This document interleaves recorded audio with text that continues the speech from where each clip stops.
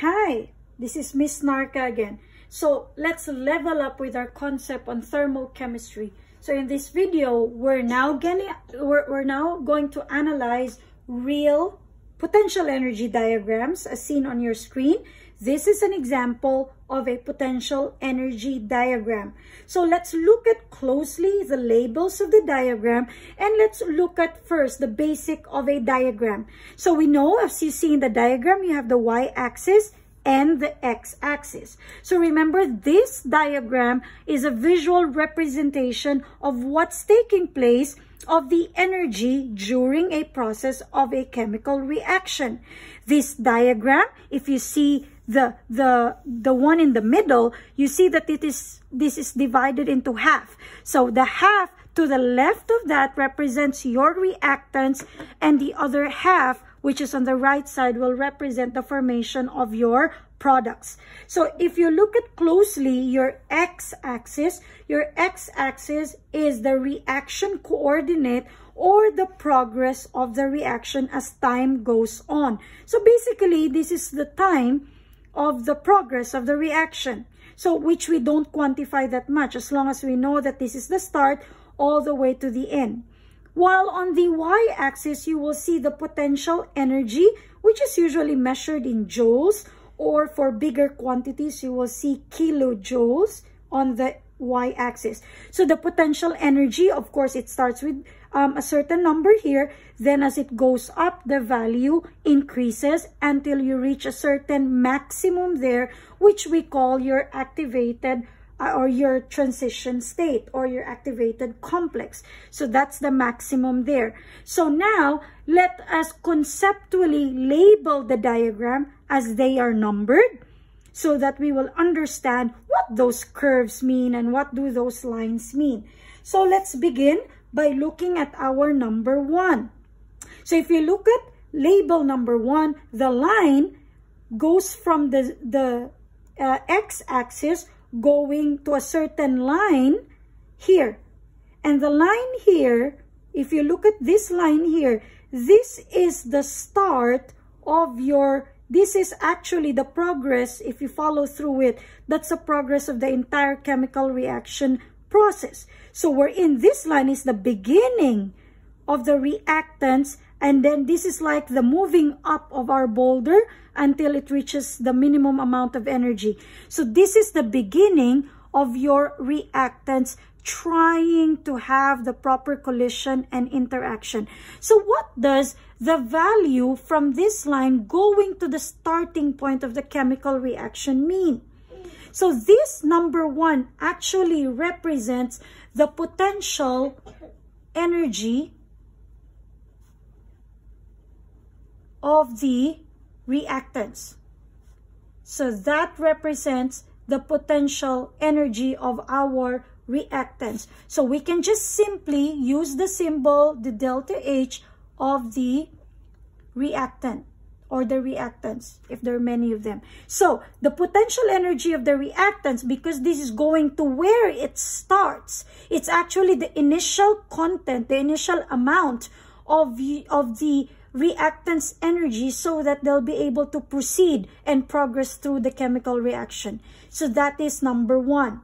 Let's look at number two. So number two starts on this line, the start of the reaction, all the way to the top, the top of the curve, the topmost of the curve.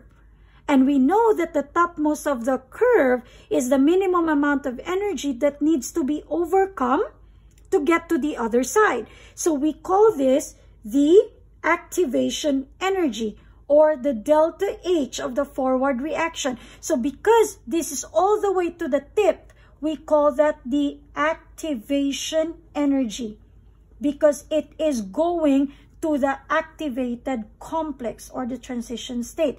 So the activation energy is represented by E sub A. So you can shortcut it like that. So the activation energy or simply say the delta H of the forward reaction. So forward reaction, it means that you really start from here all the way to the end. That's forward reaction. You begin from your left to the right. So this is the amount of energy that you need to overcome so that the reaction will really form the products that you desired of the reaction.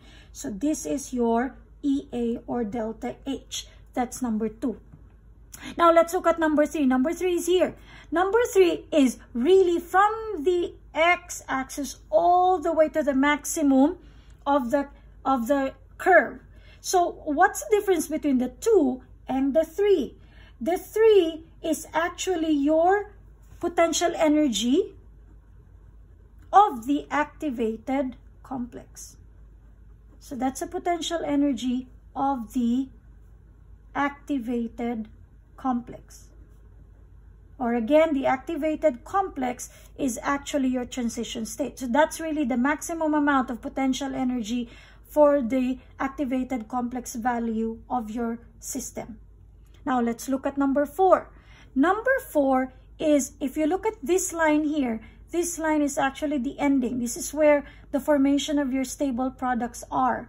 So number four is the products all the way to the top to your activated complex area. So how do we call number four? Number four is actually the activation energy. It's your activation energy. The same with number two, EA. It's still activation energy or delta H. However, we call it the delta H of the reverse reaction this time. So what do you mean by reverse reaction? Reverse reaction is when you switch. We said before that the start is here, so this is your reactants going to the products. If we're going to reverse the reaction, you start from the right going to the left. So these are your reactants here going to the products. So this is still activation energy, but this is the activation energy if you try to reverse the reaction. It means that you're going to form, you're going to use your products to form back your reactants. So please do not get confused that the 2 and the 4, they're both representing activation energy, but the 2 is for the forward reaction and the 4 is for the reverse reaction. Next, number 5. Number 5 is, if you look at the arrow, it's from where you started to where it ends.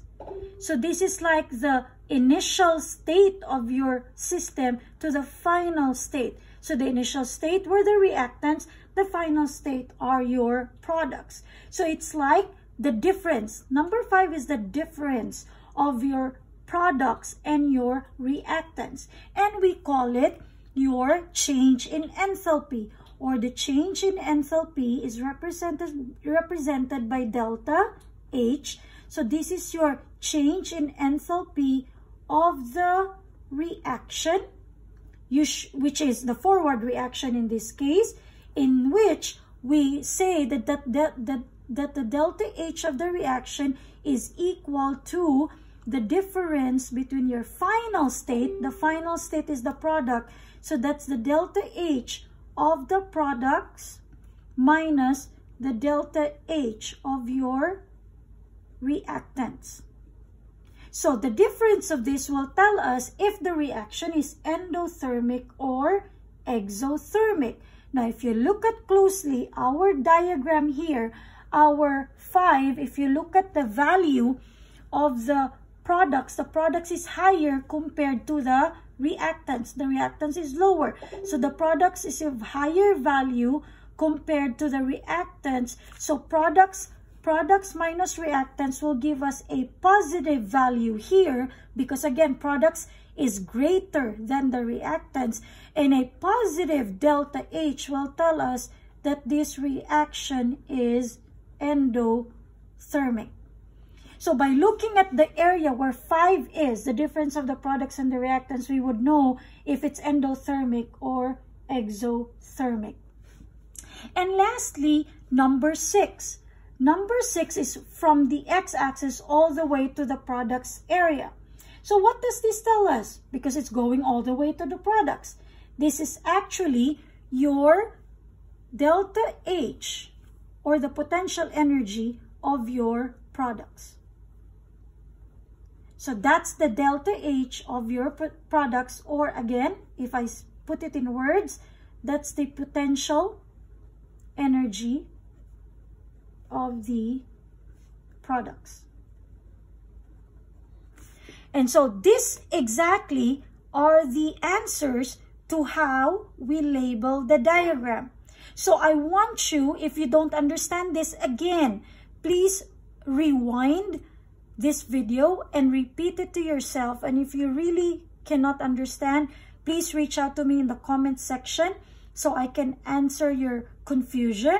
And please copy this on your notebook. Copy the diagram, do it on your own, and after this, there will be an exercise that will be given to you to practice the concepts of analyzing potential energy diagram. So let me stop there and I hope that this video will make it clear for you what potential energy diagram look like and how to interpret it.